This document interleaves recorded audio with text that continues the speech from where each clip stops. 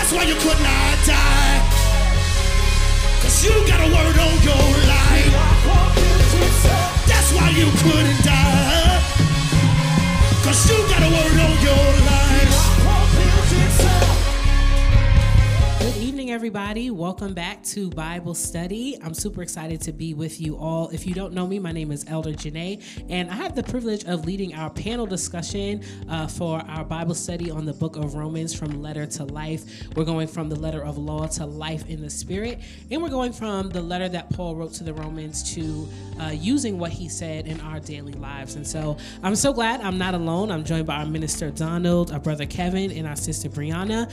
Um, and so we're going to jump right into chapter three. If you've been with us for the past few weeks, we went through an introduction in chapter one, chapter two, and we are now here in chapter three. If you've missed anything, no worries. Go back, catch up on those videos. And as you're watching today, we want to make sure that you're engaged. So ask questions, put an amen, put some emojis, uh, make sure that you're engaging with us. And also, we want you to share this video with someone who needs to hear what we are teaching about. And so, just to give you a little refresher on the book of Romans, the purpose was for Paul to write to a church that he had never been to to teach them the doctrine of soteriology. We went over that in week one, and that really is the doctrine of salvation. Um, his audience was Jews and Gentiles in Rome. And so, some of the key themes that he talks about consistently, which we will talk about consistently, uh, is the universality of sin and freedom, justification by faith in the role of the law, the righteousness of God, unity in the body of Christ, living in the spirit, and practical Christian living. And so, I just want to give you a brief recap of chapter two that was taught by Brianna. Uh, Romans 2 addresses the principle of judgment, the role of the law and conscience, the hypocrisy of religious pride, and the necessity of, of genuine repentance and obedience to God's commands.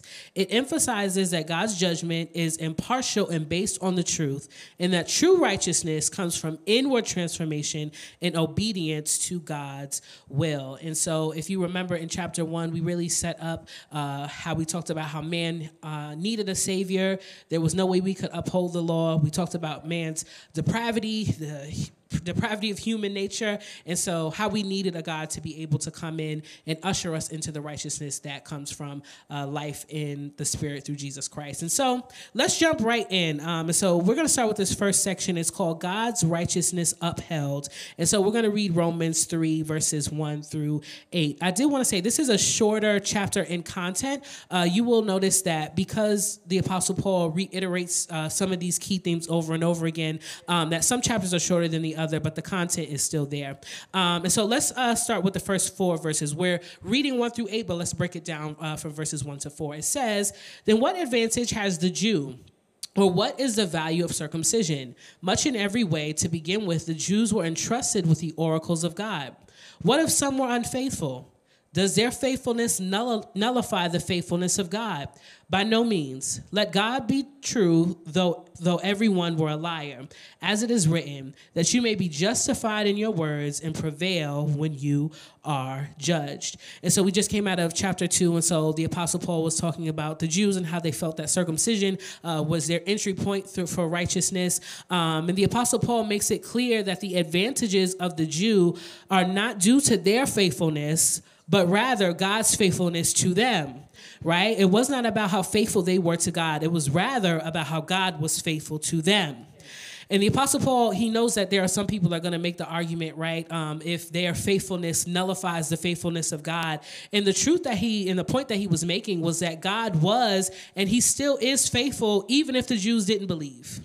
Even if the Jews did not uh, take on the faith that was now being offered to them through uh, faith and not through works, God's faithfulness was still entrusted to them. It was still shown to them, right? Um, and so I'm going to bring the panel in in a minute, but um, I recognize that people are often challenged with God's goodness because of the actions of others in the state of this world, right? It's unfortunate that people question God's goodness because of humanity's badness. Like it's pretty like silly when you think about it. So I want to ask the panel, how can we answer the questions? How could God exist if, or how could God be good if we see humanity's rejection of Him? What is the answer to people not believing that God is faithful because humanity is so depraved? I'll jump in because I've actually heard this question too many times, and I. I've heard it, and oftentimes I have to refer back to that. God gave man the power of choice, Yes. and that is always the thing you have to think about. It's he. The, the angels are, are are designated to worship him and praise him. Man has a choice to choose whether to do God's will or not. We choose to do good or evil towards our brother and our sister. God didn't invent slavery. Man enslaved man, and those are. Sometimes I keep it right there. It's that simple. We have the power of choice. So if we choose to do wrong, and then we propagate that wrong as a as a as humanity has. Of course, on the other side, you do have those that push to do that which is right. But the sad thing, and it's that we choose as a sometimes people choose to do wrong, and those wrongs come out as devastating uh, tragedies. I mean, I'll, I'll be practical. World War II, Adolf Hitler, one of the worst people that you can ever see and hypocrite on top of that. But we'll leave that. And then people can choose to fight against evil. Evil triumphs if good men do nothing. Again, it's a choice. So.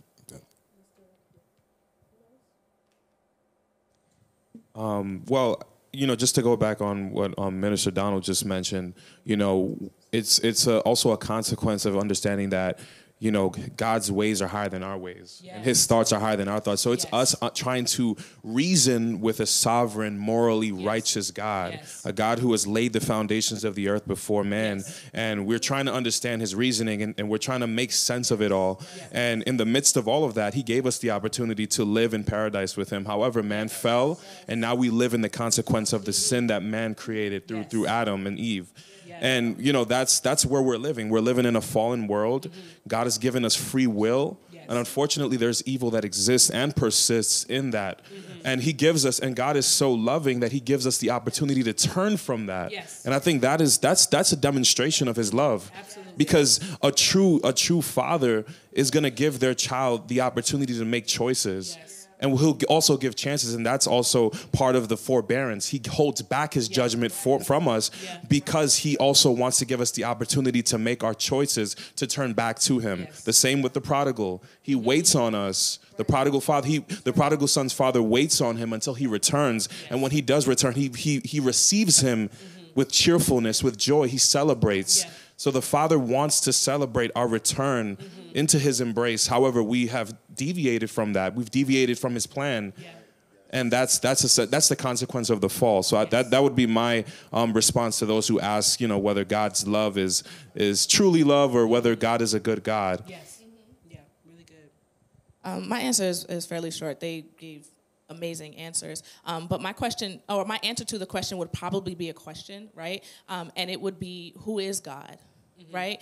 Um, who is God? Because just like um, Brother Kevin stated, if you know who God is, if you know that He sent His Son so that we wouldn't perish and have eternal life, that's love. Like, are you looking at it through your vantage point, right? Like, are you the are you judging God based on man? Because already you have a faulty understanding of who God is and His sovereignty. So I would first pose a question like, who is God? Do you have an understanding of who God is Himself? Because then all of these, um, all the scriptures now make sense. The fact that we need a Savior makes sense. The fact that He holds back His wrath, right? Like even wrath is His love, essentially, right? Like He wants to um, put us on the right path. He wants us to not live a life of sin so that we will be eternally separated from Him. So my question is always like, who is God? If we approach Him with a precon- preconceived notion or an understanding of who we think He is and not what Scripture said, who Scripture says that He is, then already we're starting we're starting off shaky. And I think a lot of people when they ask this question, um, some ask out of genuineness, right? But some people have don't really understand the nature of God. Yeah.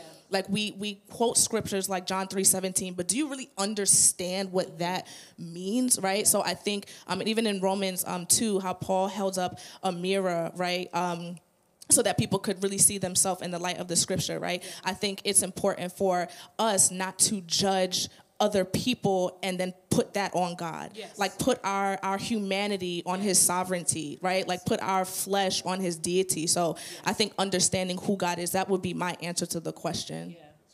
Yeah. That's really good. I want to quote uh, theologian. Sorry, go ahead. Oh go no. I was I was gonna add something because in the scriptures, and this is so you know Paul is just amazing because he he he foreshadows this. He understands our limited thoughts. So he says, "I speak to you in a human in a human sense because I know that your knowledge is limited." So even then, he understands that our, our knowledge of God is so limited that he still needs to frame his argument in a way that is is is is comprehensible on us um, on on a on a playing field that is that is. Uh, on is yeah exactly on the level of human understanding rather than God's understanding. Yeah, yeah really good. I want to quote uh, theologian Charles Spurgeon when he says about these verses. He says, I have to say with Paul, what if some did not believe? It is no new thing, for there have always been some who have rejected the revelation of God. What then? You and I had better go on believing and testing for ourselves and proving the faithfulness of God and living upon Christ our Lord, even though we see another set of doubters and another and another. The gospel is no failure, as many of us know. And so, what he is saying is, people are always going to reject this idea of God because of humanity, but it's the job of the Christian to keep living and to keep proving his faithfulness in such a way that it makes sense for other people. And it won't click for everybody, but we get the privilege of living our lives and believing God in such a way that we make the faithfulness of God of effect, right? Um, and so he goes on he uh, paul the apostle paul quotes psalm 51 and 4 to further solidify his point it says against you you only have i sinned and done what is evil in your sight so that you may be justified in your words and blameless in your judgment and so again we have this idea of not being held to man's standard but being held to god's standard right um, and that we are not subject to what human thinks humanity thinks about god or thinks about his judgment but we are subject to the judgment of God. And so we're going to go a little bit further. We're going to uh, read the rest of those verses, verses 5 through 8. And it says, But if our unrighteousness serves to show the righteousness of God, what shall we say? That God is unrighteous to inflict wrath on us? I speak in a human way. By no means. For then how could God judge the world? But if through my lie God's truth abounds to his glory, why am I still being condemned as a sinner? And why not and why not do evil that good may come? As some people slanderously charge us with saying, their condemnation is just. So the apostle Paul he says a mouthful here, and uh, we're going to get into that. But I want to bring the panel in uh, because he mentions this word at the end, condemnation. Um, and so I just want to um, get a definition. How would you define the word condemnation? So okay, I'll, I'll just I'll take a mm, I'll jump out there. Um, so whenever I hear the word condemnation, I automatically think punishment. But not only punishment, just what's tacked onto it, right? So it's it's a form of connection that is connected to guilt and shame, mm-hmm. right? So as the body, like we are called to correct one another. We are called, you know, even God, He chastises those whom He loves. But with conviction, right, which is a word also um, used commonly, mm-hmm. there's like love, right? So He'll correct you in a loving nature. Yeah. However, the enemy, right, is really good at condemning us. So say I make a mistake, right? What's tacked onto that is guilt. So now someone, let's give an example, right? Someone corrected me, um, and it it might have been in love, right? Because sometimes we can self condemn condemn ourselves as well, even when it wasn't the intent. So I think with condemnation, um, with that correction, now I pull away. Now I shy back. Now I can't work in the church anymore. Now I can't. Um, all because that guilt and that shame is yes. kind of like tacked onto us, which we know is not God's intent yeah. at all. Yeah, that's really good. And I think I think you that's one of the examples when we talk about from letter to life, how you brought the practical how you brought the here and now definition of condemnation um, and in this sense you mentioned uh, two words that that are in the official definition of condemnation, um, and it's the judicial act of declaring one guilty and dooming him to punishment. And so, even when you talk about this idea of what the enemy does to us now, is in the middle of our story, he is pronouncing punishment and guilt on us, right? When we know that we've already been justified and we don't have to deal with condemnation. Um, but this condemnation that Paul is talking about is he's talking about just condemnation that comes at the end of guilt, right? And so in these verses, verses uh, five through eight, Romans 3, five through eight, Paul is dealing with twisted perspective. Um, God is holy, he's pure, he's good, and he would not use the sin of people, the sin of people that he loves, as an opportunity to bring himself glory alone. And so the apostle Apostle Paul is teaching to the fact that people would say, oh, so God is using our frailties, he's using our sin just so that he would look good or he would look better, right? Um, I want to quote, and I want to say this. We the reason why we're including quotes from teachers within our church is because I saw this post on Instagram one time. It was a, a preacher, and she was saying she wants people to get familiar with the people among her as being seen as theologians. And so the reason why we quoted Minister Richard in the last um, teaching, and the reason why I'm going to quote Minister Kelly now, um, is because I want us to look at the people among us as theologians. We don't got to wait till we in the grave to call somebody a theologian, right? And they don't have to look a certain way, if you know what I mean, uh, to be considered a theologian. And so Minister Kelly Thompson said this about these verses God has nothing to prove, and loophole faith hurts us more than it glorifies God. I'm gonna say that again. God has nothing to prove, and loophole faith hurts us more than it glorifies God. God would never put us in a position to set us up to sin that He might be glorified. He does not need to prove Himself in that way. He's already proven that he's the big God from the beginning. And so he does not need human frailties to point to his goodness and how good he is. Loophole faith would be a tragedy for us. And in his goodness and his sovereignty, he has not subject us to that, right? But he is using, really, and this is where we get that scripture, all things work together. He's using our frailties, right, to show us that he loves us through them. But it's not to prove the point that he is God, right? Um, the truth is, it would be unjust for God to use humanity's frailties just to get glory. That would be a twisted and a terrible God to serve, and he does not do that. And I want to read two scriptures here. The first one is from Deuteronomy 32 and 4. It says, The rock, his work is perfect, for all his ways are justice. A God of faithfulness and out with and without iniquity, just and upright is he. And because God is just, because he's upright, he's not using our sin to get the glory. Isaiah 30 and 18 says, Therefore the Lord waits to be gracious to you, and therefore he exalts himself to show mercy to you. For the Lord is a God of justice. Blessed are all those who wait for him. God wants to show us mercy. Our need for him will always exist, whether we acknowledge it or not, and his goodness will always exist. If we became perfect tomorrow and we never sinned again, he would still be a God that's deserving of glory. He does not use our sinful and need our sinful humanity to get the glory out of our lives. Anybody have anything about that before we go on? I saw you was getting excited. yeah no so uh, like this just i don't know this is exciting me um, one a scripture that came to my mind is um, i forgot where it is but it says that justice um, and righteousness are the foundation of his throne right? And i love how paul like if you need a tip for apologetics like this is how we defend the gospel. Like we defend the gospel with the gospel. Because he's dealing with all these um, twisted perspectives and the way that people could could turn um, the intent of scripture and what jesus has came to do and all the things how they can turn it and flip it um, for for man's motives or for any other reason. So i just thought about apologetics and how a lot of people um, want to be able to defend the gospel or even when questions come that try to threaten god's character. Yeah. just using the scriptures to do that. Like using the letter using what um, theologians using what paul um, and, and the epistles bring us to literally live this life out because not only are we living it out but we're also defending and speaking about what we believe. So just hearing you use those supportive scriptures i'm like even in the bible like the bible defends it defends itself. God defends himself right? So that's just what i thought about and got excited I was thinking of a couple of verses like, "There's therefore now no condemnation to them which are in Christ Jesus." And I'm like, you know what? The word condemn, and you read the definition, the dooming piece of it. Mm-hmm. The dooming, like it's all over. Yes. And God, that's not God. Yes. He wants us to be reconciled back to Him. And that's why, you know, you can't live in condemnation. Yeah. You can't, we, we, not you, we cannot live there. It'll stop our progress. And it gets back to something we said uh, last week in the lesson about transforming and renewing of our mind. You talked about the perspective. What's our perspective now? Yes. How do we, how are we learning our, our salvation, our, our, our, our Savior? How do we, Yeah.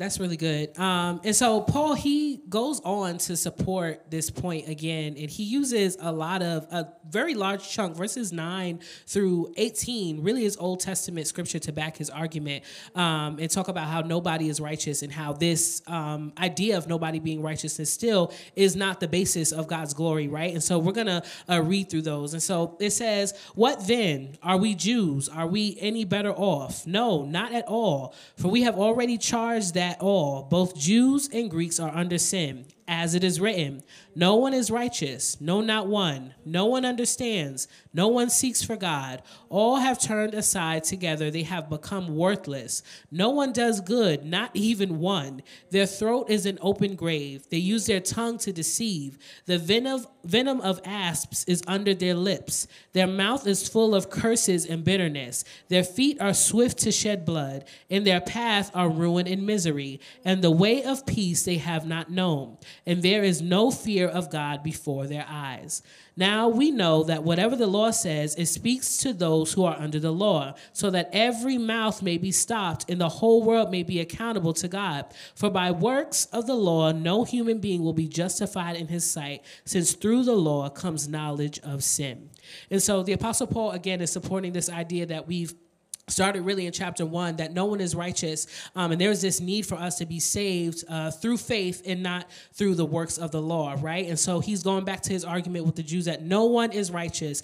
Innately no human is righteous. We were born in sin. We were shapen in iniquity. And there is no way no matter what you do there is no way for any one person to be born righteously without sin right? We will all eventually the bible talks about uh, man's days it's like few. And in the trouble trouble comes, right? For a few days that you're to start to work in your unrighteousness, right?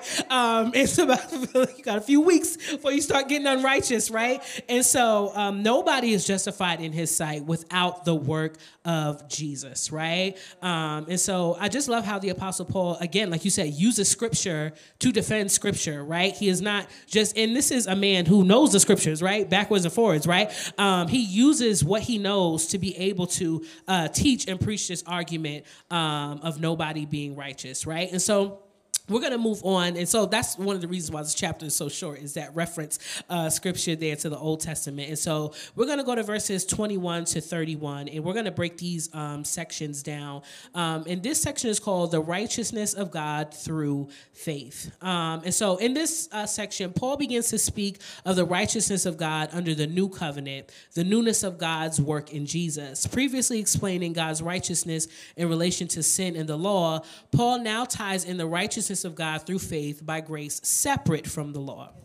This passage explains how justification by faith in Jesus Christ is available to all, regardless of their ethnic or religious background. It emphasizes a universal need for salvation, the basis of justification through Christ's sacrifice, the exclusion of boasting, the inclusion of Gentiles in God's plan, and the relationship between faith and the law. And so I'm going to read verses 21 to 22. It says, But now the righteousness of God has been manifested apart from the law. Although the law and the prophets bear witness to it, the righteousness of God through faith in Jesus Christ for all who believe, there is no distinction.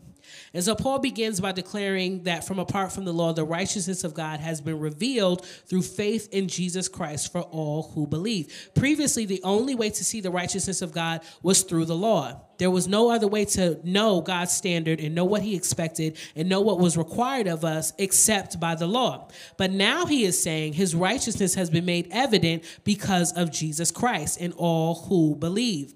And so this righteousness comes through faith in Jesus Christ to all who believe, regardless of their background. And so I want to bring the panel in uh, because there is this word that's used here in verse 21, and that is uh, the word manifest. It says, But now the righteousness of God has been manifested apart from the law. And so I want to know uh, what is this type of manifestation that Paul is talking about, and how does it differ from how we see it used today? What is this type of manifestation that Paul is talking about, and how do we see it used today, and how is it different?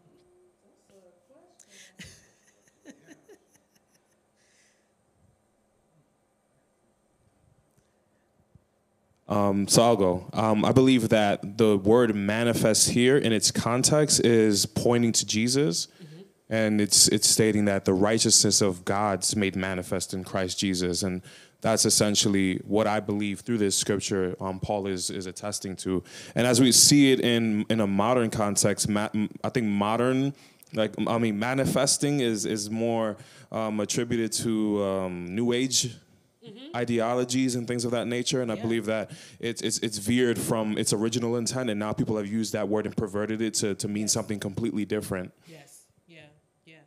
The definition here for for manifest, the way that the apostle Paul is using, is really simple. He is saying that well, the definition is plain. Open, clearly visible, right? Obvious. And so he's, when he uses the word manifest here, he is saying that the righteousness of God has been made clear apart from the law, right? And so when we hear people talking about manifesting, the reason why I include this because I get this question often: What's the difference between what I'm trying to do and what the Bible is talking about? They just see it's the same word and they think it's the same thing. Um, but the manifestation that is being practiced today is like conjuring something up, right? Believing that you can will something to happen, you can create something. When Jesus has already created the way that needs to be created, what Jesus came to do was reveal the way that has been made, right? And so when he talks about manifestation, it's the revealing of the righteousness of God through Jesus Christ. And that's important to know. One of the reasons why we said that we want to do this book is so that people could clearly articulate what they believe. And so the next time somebody asks you what manifestation is and how it differs from what they believe and what the word says, you can tell them that this manifestation is a clear revealing of the person of Jesus of God through the person of Jesus Christ, right? You know what? Go, Uh, yeah. a- as you, you're saying that, and you said revealing, and because it's already there. Mm-hmm. Yes. You just can't see it. Yes. Which means, and we talk about that the, the, the in this age, the minds of people are blinded Mm-hmm. from God, from the the the, man, the, the trueness and the true Mm-hmm. salvation. Our job is to re- help to reveal and manifest God, Christ the right way, Yes, the right way. But you know, drop the scales from their eyes. There's so many verses that do refer to that. But in this age, that yeah, it has to be revealed because it's hidden. Sin has hidden it. Hypocrisy may have hidden it. Mm-hmm. Different things in society may have hidden who Christ really is. But yeah, just just a thought. Yeah, no, that's really good. That's really good. Um, and so we're going to go to the next verses, verses 23 and verses 24. Um, here Paul tackles the universal need for salvation, right? Previously, he said that it was available to anybody, uh, regardless of ethnic or religious background, right? And so he's going into the universal need for salvation. And verse 23 says, For all have sinned and fall short of the glory of God and are justified by his grace as a gift through the redemption that is in Christ Jesus. And so I the panel thought they were going to rest, but um, I have a, a question uh, specifically about verse 23. Um, how have you, you have have you heard this scripture used most commonly? What is the actual meaning here in relation to Paul's message, right? And that's verse 23. For all have sinned and fall short of the glory of God. How have you heard that used most commonly? What's the actual meaning here in uh, Paul's message? Actual meaning or how it's been used. I'll go. I'll go how it's used. Yes, how about go that? that one, go that one. Let's go that Usually, first. when I uh, heard it, you know, all have sinned and, and come short of glory God. Usually, it refers back to the Adamic sin. You know, uh, and, and you referred to it before that we were in paradise, and you know what? You, you you disobeyed the word of God, and now we're all kicked out of paradise, and we all are. I'm sorry. I mean, I, I, we all gotta pay. I mean, it, yeah, but that's the original sin. So the original Adamic sin is now now we are, are saved through the the second Adam. Sometimes the people refer to Jesus as the second Adam. Now we are saved through Him. Yes. But that's usually how I've heard that referred to. Yeah. Anybody else have? I've I've seen it referred to as, in a sense, like a license to sin. Yes. And that's and that's how I've seen it. Like, oh, Yes. oh, you you you did that. That's okay. You know, we've all fallen short of the glory of God. Just get back up and do it again tomorrow. You'll be all right. um, but I but then as I was as you were speaking, I thought of um, First John uh, chapter one verse eight to ten, and it says, if we have if we say we have no sin, we deceive ourselves, and the truth is not in us. So you know. The first part of it is that you know the people who say those things they're obviously making an excuse. Yes. You know, it's an excuse to continue to sin. And then the latter part of it is that, you know, with this scripture is saying that we all have we all have sin in us, Yes. but because we have sin in us, we need God's grace. Yes. And we can't just abuse his grace because Yeah. by abusing his grace is to say that we don't believe that God is a grace a gracious God. Yeah. It- it's it's it's a turning away from him and it's in a, it's a suppression of his his righteousness Yes. and it's an acceptance of unrighteousness. So good. I, that's um, Minister Donald. You know, I was I was really I was excited for you because I never heard it used like that before. Most people, when I hear it, it's like uh, like you said, like a license to sin or an like a feel good, right? Like we all sin, right? We we all fall short, um, which is true, right? But the original intent for this scripture is that Paul is making salvation equitable and useful for every person, right? So, but we we talked about it before these verses. He said that everybody has a need, regardless of your background, your religious background, your ethnic background. Everybody has a need for Jesus, and he's saying that is because all have sinned and fallen short of the glory of God, right? So this is not just about um, your license to keep sinning because you have sinned, right? This is about the fact that salvation is a need for everyone, right? Because we all have sinned and fallen short of the glory of God. Hey, no, no, I, I ain't never heard that one. But I, but you know what? I'm aware now. yeah. I'm aware. We we prepared. We prepared. There you go, right? And so um, here, Paul reiterates that all have sinned, right? Um, but the point is that they are justified by God's grace, grace as a gift through the redemption that is in Christ Jesus. And so, even similar to uh, Kevin's point, this idea that um, you know, if we say that we don't have sin, we are a liar, right? Everybody has sin, and so we have the beautiful opportunity to be justified, and we have been justified, um, but as a gift of redemption that is in Christ Jesus. Sorry.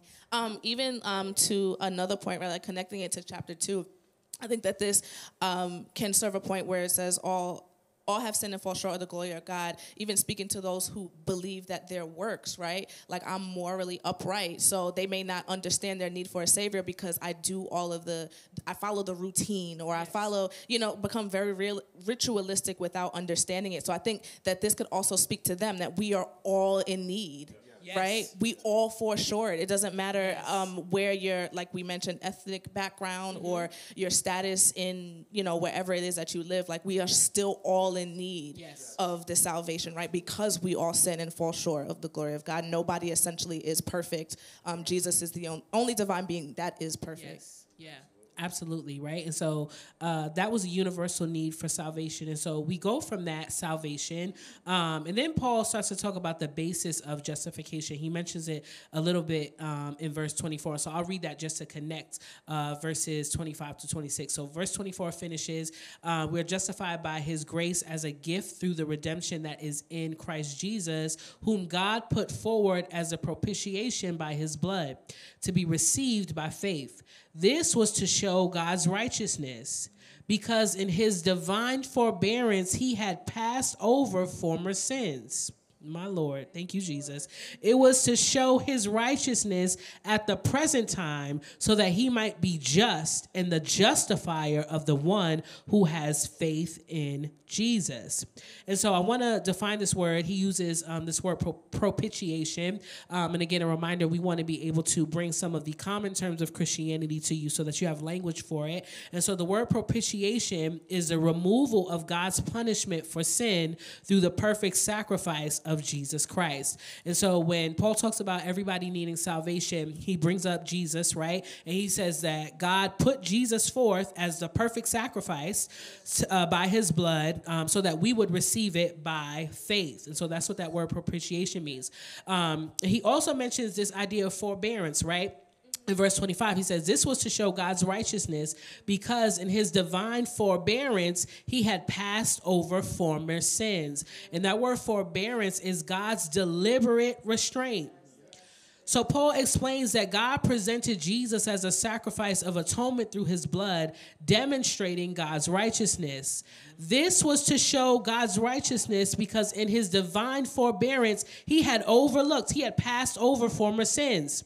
It also shows God's righteousness at the present time so that he might be just and the justifier of the one who has faith in Jesus, right? And so when we talk about this idea of wrath and like judgment and condemnation, we cannot forget the fact of the, these two important facts. That number one, Jesus Christ was provided as a propitiation, the substitute, the perfect sacrifice for our sins. That's the first thing. And number two, God exercised divine forbearance when he could have punished at the time he wanted to punish when he could have condemned, when he could have made us guilty, he, in his divine forbearance, it means literally, he held himself back. He held back himself um, so that he would continue to show his righteousness to us, right? Um, this is the goodness of God, right? That we did not get at the time what we deserved, but Jesus Christ stepped in our place. He became the propitiation for our sin, and we experience the divine forbearance of God.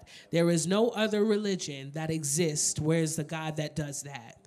No other God and no other religion sends himself and holds back his judgment that we might come into alignment and right standing with him. It's only the blood of Jesus and only this God that would do that kind of work for us. And so the Apostle Paul, he talks about this idea of justification. And then he gets to, right, and this is really important. If you know the Apostle Paul, he don't play about this boasting. Um, he excludes boasting, right? Verses 27 to 28 says, Then what becomes of our boasting? It is excluded. By what kind of law? By a law of works? No, but by the law of faith. For we hold that one is justified by faith apart from the works of law. And so Paul emphasizes that boasting is excluded because justification is by faith apart from observing the law. It is through faith in Jesus Christ that both Jews and Gentiles are justified, not by works of the law. And so, if you remember in chapter two, we talked about it, right? How the Jews were prideful um, and they felt like they were better than the Gentiles because they upheld the law and they were circumcised and they did, or they were, and Paul even talks about it, right? They were entrusted with the oracles of God first. And so that was a pathway of pride for them. But now, Paul is saying, never mind all that. Like, forget about all, all that stuff that you all did in the past. It doesn't matter. You cannot boast about this type of righteousness, this type of salvation, because this came from faith. It did not come from your circumcision, did not come from your Torah, it did not come from you practicing feasts and festivals and all of those things. It only came from the propitiation, the righteousness of Jesus Christ. And so that's a message for us, right? We're going from letter to life. We who have been saved, it is a point of rejoicing, but not boasting, right? We get to rejoice in the fact that we are saved. We have been saved. We've been engrafted into the family of God, but it's not of our own works. Like the only thing you did is say yes. And even that was because of him, right? How, because the Bible talks about he called, he uh, called us before we even called onto him, right? And it's his loving kindness that even drew us to him. So we wouldn't have even been able to come if he didn't draw us. Like we wouldn't have a leg to stand on if he had not done all of the work for us, right?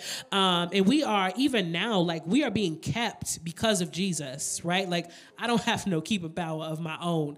Um, he has justified us and he is keeping us until the day of Jesus Christ. Um, I don't have a question, but y'all have anything on that? You know what? I'm sitting here and I'm listening to you. All I'm feeling is gratefulness. There's a gratefulness that I ha- I have. If I'm going to boast, I'm boasting that I'm grateful Yes. That God has given me salvation. And you're right. He didn't say anything but yes. You didn't work for it, didn't pay for it. You could have mortgaged everything you had, Yes. put it all there, and it would be nothing. Yes. But I am grateful that God has given me the gift of salvation. Absolutely. Absolutely. Love that. Um, and so we're going to uh, conclude these verses here. We're actually coming to the end um, of this lesson. Uh, verses 29 through 31, it says, Or is God the God of Jews only? Is he not the God of Gentiles also? Yes, of Gentiles also. Thank you, Jesus, because I'm a Gentile. Since God is one who will justify the circumcised by faith and the uncircumcised through faith. Do we then overthrow the law by his faith? By no means. On the contrary, we uphold the law. And so Paul concludes that God is a God of both Jews and Gentiles. And the reason why I always get excited about that is because if you remember, Brianna defined in chapter two that a Gentile is anybody who's not a Jew. And since I wasn't born a Jew, I'm excited that he is the God of Gentiles also because that is me. Um, and so he is the God of the Jews and the God of the Gentiles. Um, and there's only one God who will justify the circumcised by faith and the uncircumcised through faith, right? So this is important. This is an important distinction here, right? So the Jews are those who are circumcised, right? Um, but if they did it by the law, they would not be justified. If they are circumcised by faith, then they are justified because they are putting their trust in the circumcision, the circumcision of their heart that comes through Jesus Christ. And so when he talks about the uncircumcised through faith, he's now talking to the Gentiles because they did not participate in circumcision, right? And so he's saying even the people who did not practice the law at that time are justified through the faith that they have in Jesus Christ. And so he is saying essentially, wherever you find yourself, circumcised, uncircumcised, as long as you do it in, through, and by faith, you are justified. And I think that's so good because sometimes, even when we think about um, believers now, um, that's how people can come in off the street and they are like saved and they are immediately on a level playing field with us. Whether you've been saved for 50 years or five minutes, we are all justified through the same faith in and of Jesus Christ. And this is a beautiful way that we see even one of the key themes in the book is um, this unity in the body. And that's to help us, right? To not look at somebody else because you haven't been saved for this long or you don't know these scriptures or you don't know to put your finger up when you walk through the church, right? Um, it's a way that we are all made one through the one who has justified and continues to justify us. And so I have um, this this last verse is really impactful and that's one of the things i really love about the apostle paul and i know this is one long letter but whoever divided this book up they really did their good dividing. Um, it says right in verse um, 31 i'll read it again. He says do we then overthrow the law by this faith? He says by no means. On the contrary we uphold the law. Um, and so paul anticipates the objection that his teaching nullifies the law. He already knows that the jews are going to come at him and say what are you talking about? Right? Um, and so I want to ask this question before I finish that thought. Um, if Jesus fulfilled the law, is there a purpose of the law now? If so, what is it? If Jesus completely fulfilled the law, fulfilled the law, is there a purpose of the law now? If so, what is it? So, okay, I'm gonna again. Um, so uh, the Bible says, without the law, there there is no transgression, right?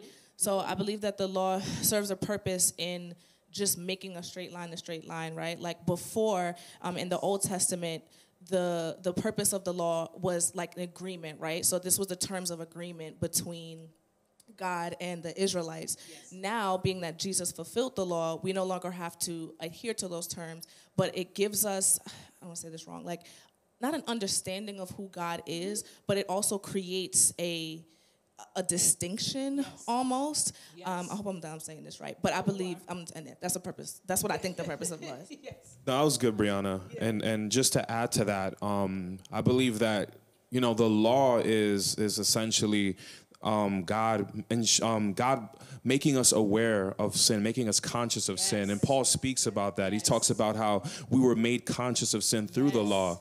And he even talks to the Gentiles and he says the Gentiles have the law written on their hearts. Although they didn't know the law, the law is still written on their hearts. So it's, it's essentially God's desires and his will for us play, you know, given to us on, you know, on, on paper essentially.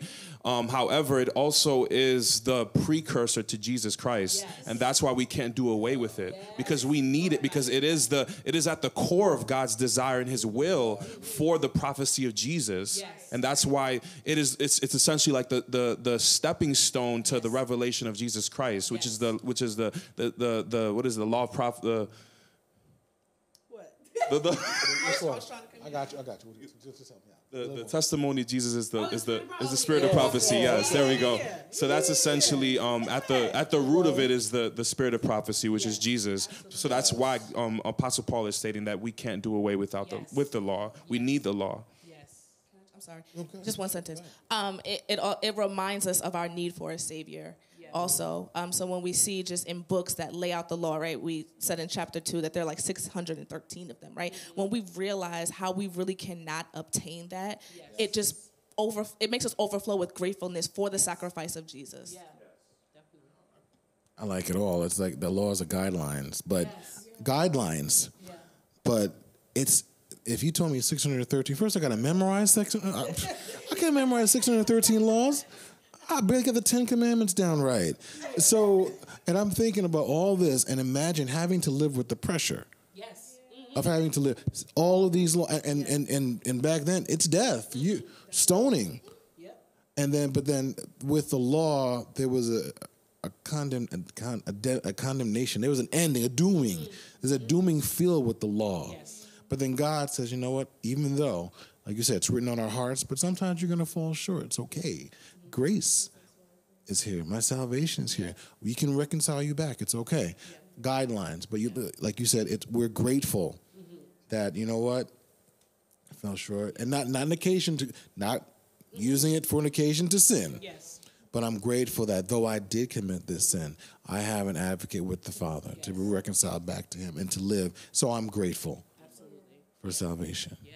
And also one of the reasons that the law was there to was to reveal the condition of man's heart, right? Um, we and somebody talked about like guidelines and in a way to see um, what really was inside of people, right? Um, and I think about it like when when you drive on the highway, like you need those lines to show you which lane you're in, right? Without it, everybody's just gonna be like just I, I need this amount of space. You get over there right? Um, and so the law really gives us also our moral law right? It tells us um, what is right to do. And, and some of those things are like still true today. Like you shouldn't be doing some yeah love your neighbor hello? Don't be doing this with another man's wife. Yeah don't kill hello? Um, the law stands for like a moral compass for humanity. And like you said kevin it is written on our hearts. Whether we re- admit it or not there are just some things you know not to do right? And that's not just because you're so good. It's because god has and we talked about this i think in chapter one how God has revealed himself to man either by revelation, like actual, like seeing his works, or by conscience. That's the word that uh, the Apostle Paul uses. And so we are without excuse, right? We know, um, but the law serves gives even more reason not to give us excuse, right? Um, and so, and like you said, of course, it points to Jesus and what he would be to us, um, and the fact that we need a savior, right? And so Paul here he anticipates that people will say that his teaching nullifies the law, but he asserts that faith does not nullify the law, but rather upholds it. Faith in Jesus Christ fulfills the righteous requirement of the law, as Jesus himself fulfilled the law perfectly. And so, what the law in the Old Testament was missing was this righteous requirement. It was missing this heart part, right? It was missing our inward man being transformed. But now it's being fulfilled not just in the work of Jesus Christ, it's being fulfilled because we, we now meet the righteous requirement. We now meet the terms and conditions where our heart needs to be changed. And that is because of the work of Jesus. And so, we're concluding here. I have one more question for the panel, but um, in conclusion, just a little bit to summarize Romans 3. Romans 3 underscores the universal need for salvation, the sufficiency of faith in Jesus Christ for justification, and the exclusion of boasting in one's own righteousness. It highlights the central message of the gospel that salvation is available to all who believe, regardless of their background or past sins. And so, my last question for the panel, and everybody can answer this. For many of us, this concept of justification by grace through faith is not a new concept. Is it useful to review it in passages like these? What can you get from a primary review of the of the concept of justification through faith? How can it help your walk? Okay. Um, is it useful? Yes. Let's just keep it simple. Um, because I need to be reminded of my salvation. I need to be uh, encouraged, um, maybe rebuke, reprove. We go into all those other words about what I'm living, how am I living it.